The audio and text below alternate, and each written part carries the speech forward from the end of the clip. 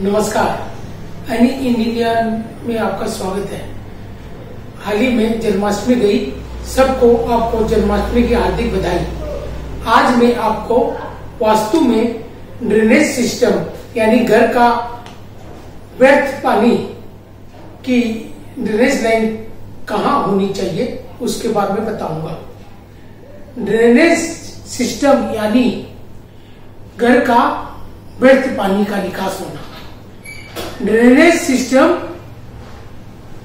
रसोई और नान घर का। आप घर के उत्तर, पूर्व या ईशान कोण से निकाल सकते हैं।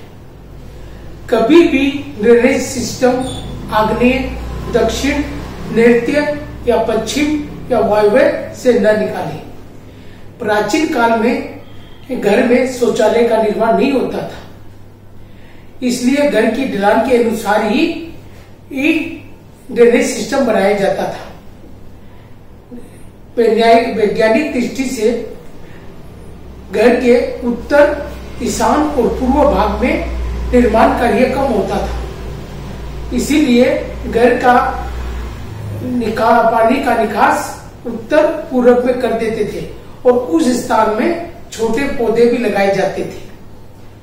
पहले पब्लिक ट्रेन नहीं होती थी, इसीलिए वहाँ पौधे होते थे जाके पानी, मट्टी सोख ले। लेकिन अब जमाना बदल गया है, घर में शौचालय का निर्माण हो रहा है, इसीलिए ड्रेनेज लाइन में भी कुछ परिवर्तन है। अगर आप घर के रसोई और स्नान घर, केवल स्नान घर का पानी का निकास उत्तर पूर्व और ईशान कोण से करते हैं तो ठीक है। लेकिन यदि आपके शौचालय का पानी की निकास है तो उसे आप पश्चिम, दक्षिण या पश्चिम वायव्य की ओर से करें। कभी भी शौचालय का पानी उत्तर, पूर्व या ईशान कोण से न करें। इस बात का विशेष ध्यान रखें। अब मैं आपको आए हुए प्रश्नों के बारे में बताता हूँ। मेरे पास एक प्रश्न है, ओम प्रकाश जी अग्रवाल का।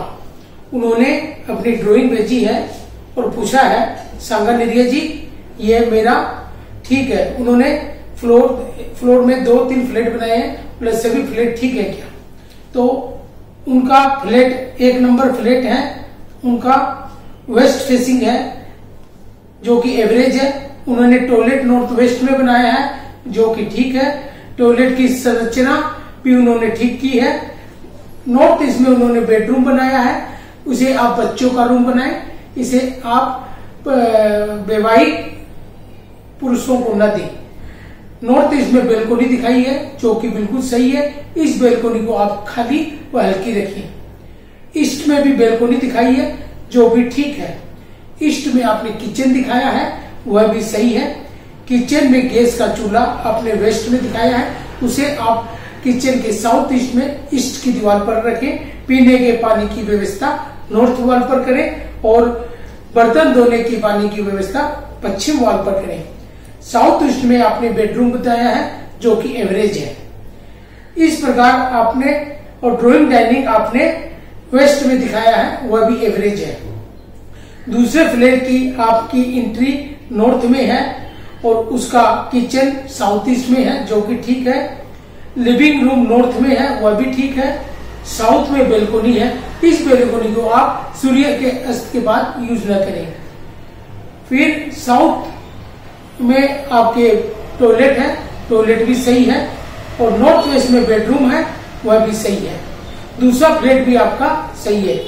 तीसरे फ्लैट की एंट्री नॉर्थ ईस्ट में ईस्ट की तरफ़ है, जिसका living dining room north east में है, जो कि ठीक है। साउथ ईस्ट में किचन है, वह भी सही है। साउथ में आपने वॉशिंग एरिया बनाई है, वह भी ठीक है। साउथ में टॉयलेट है, वह भी ठीक है। मास्टर बेडरूम आपने साउथ वेस्ट में बनाया है, जो भी ठीक है। और वेस्ट में आपने एक बेडरूम बनाई है, वह भी ठीक है। वेस्ट में आपने बेलकोनी बनाई है। इस बेलकोनी को भी आप सूर्यास्त के बाद में यूज़ न करें। इसके बाद आपका चौथा फ्लैट है, उसकी एंट्री साउथ में है। जिसमें आपने किचन साउथ ईस्ट में बनाया है, बहुत अच्छा है। नॉर्थ ईस्ट में डाइनिंग हॉल रखा है, वह भी बहुत अच्छा है। और लिविंग रूम आपका साउथ में है, ये एवरेज है। लिविंग रूम हमेशा नॉर्थ या ईस्ट या नॉर्थ वेस्ट में होना चाहिए। बेलकोनी नॉर्थ में है, वह भी सही है। नॉर्थ में बेडरूम है, वह भी सही है। नॉर्थ वेस्ट में टॉयलेट है, वह भी सही है। साउथ वेस्ट में आपका बेडरूम में ठीक है, लेकिन इसमें आपने पलंग का सिराना नॉर्थ में दिखाया है, जो कि बिल्कुल गलत है। बेड का सिराना हमेशा साउथ ईस्ट या वेस्ट की तरफ़ करे। साउथ नॉर्थ वेस्ट में आपने बेलकोनी दिखाई है। इस बेलकोनी की आप सूर्यास्त के बाद यूज़ न करें। टॉयलेट की संरचना आपकी नहीं दिखाई हुई है तो मैं आपको बताना चाहूँगा टॉयलेट सीट हमेशा नॉर्थ या साउथ वॉल पर रखें, और सावर और वॉश बेसिन नॉर्थ या ईस्ट वॉल पर रखिए। इस प्रकार आप अपना घर बनाते हैं तो आपके लिए अच्छा होगा। इसके बाद हमारे पास है विकास झा का एक है। उन्होंने अपने घर का साइड में भेजा है। उन्होंने पूछा है कि मैं कैसे दो फ्लैट निकालने हैं, कैसे निकाल तो पहला मैं कहना चाहूँगा कि आप फ़र्स्ट प्लेट को आप वेस्ट एंट्री में कीजिए। और ड्राइंग डाइनिंग आप वेस्ट में करें नॉर्थ वेस्ट में बेडरूम करें नॉर्थ ईस्ट में बेलकोनी रखें ईस्ट में बेलकोनी रखें साउथ ईस्ट में किचन रखें साउथ वेस्ट कॉर्नर में मास्टर बेडरूम के टॉयलेट वेस्ट की तरफ़ रखें। इस प्रकार आप पहले फ्लैट का निर्माण करें? दूसरा फ्लैट की आपकी एंट्री ईस्ट में होती है। इसमें पूजा घर आप नॉर्थ ईस्ट में रखें। ड्राइंग हॉल हॉल आप ईस्ट में रखें। डाइनिंग हॉल आप साउथ ईस्ट में ईस्ट की तरफ़ रखें। किचन साउथ ईस्ट में बनाएँ। बेडरूम साउथ में बनाएँ। टॉयलेट साउथ और वेस्ट में बनाएँ। और एक बेडरूम आप वेस्ट में बनाएँ। नॉर्थ वेस्ट में भी आप बेडरूम बना सकते हैं।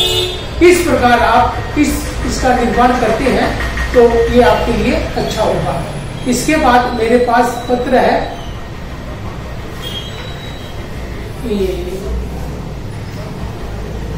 ओम प्रकाश चौटाला। उन्होंने हरियाणा से पूछा है, उन्होंने अपना ड्राइंग भेजा है, उन्होंने उनकी, पहले तो मैं आपको चौटाली जी कहना चाहूँगा कि आपका फ्लैट बदुनिया है, उसे आप कॉपर वायर से स्क्वायर कर ली और आपकी एंट्री नॉर्थ वेस्ट में नॉर्थ की तरफ़ है, जो कि ठीक है। होल आप नॉर्थ में नॉर्थ वेस्ट में बनाए, वो भी ठीक है। मास्टर बेडरूम आपने साउथ वेस्ट में बनाया है, वह भी ठीक है।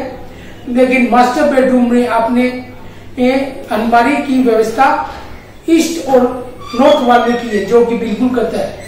आप अलमारी की व्यवस्था हरदम साउथ और वेस्ट वाल में करें और बेड का सिराना इस प्रकार करें कि सोते समय आपका हेड साउथ की तरफ़ हो। टॉयलेट आपने साउथ की तरफ़ बनाया है, जो कि ठीक है। टॉयलेट की संरचना आपकी गलत है। टॉयलेट की संरचना आप इस प्रकार करें कि आपका टॉयलेट सीट साउथ में और सावर और वाश बेसिन आपके नॉर्थ या ईस्ट वाल में हो। दूसरा टॉयलेट आपका साउथ ईस्ट में है, जो कि एवरेज है। इसे कम से कम यूज़ करें और इसमें आपकी टॉयलेट संरचना ठीक है। साउथ ईस्ट में, साउथ की तरफ़ आपने स्टोर रूम बनाया है वह भी ठीक है। लेकिन आप ध्यान रखें स्टोर रूम का साउथ और वेस्ट भाग भारी रखें और नॉर्थ और ईस्ट भाग हमेशा हल्का रखें। किचन आपका ईस्ट में है, जो कि ठीक है। किचन का केस की चूल्हा आपने साउथ में दिखाया है, जो कि बिल्कुल गलत है। उसे आप साउथ ईस्ट कॉर्नर में, ईस्ट में रखें। पीने के पानी की व्यवस्था नॉर्थ में करें। पानी बर्तन धोने की व्यवस्था साउथ में करें। डाइनिंग हॉल आपने मिडिल सेंटर में बनाया है। जो कि सही है। नॉर्थ ईस्ट में आपने बेडरूम बनाया है जो कि बच्चों का होगा। और नॉर्थ ईस्ट कॉर्नर में आप ईस्ट दीवार पर पूजा घर या भगवान की फ़ोटो लगाएँगे। और आपके मिडिल सेंटर में ओपन टू स्काई यानी खुला स्थान है जो कि बिल्कुल अच्छा है।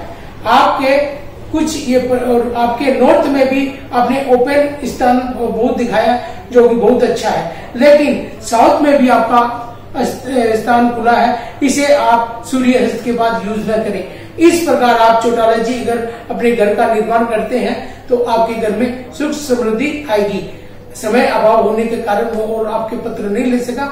आप मेरे प्रोग्राम को इसी प्रकार देखते रहिए और देखते रहिए और सराहते रहिए। तो आपकी कोई भी समस्या है, आप मुझे इस प्रोग्राम में भेजते रहिए और इस और भेजते रहिए और यदि ज़रूरत पड़े तो आप मुझसे मेरे ऑफ़िस में आकर मिल भी सकते हैं। इससे विदा लेने के साथ आपको पुनः जन्माष्टमी आर्थिक शुभकामनाएँ। नमस्कार।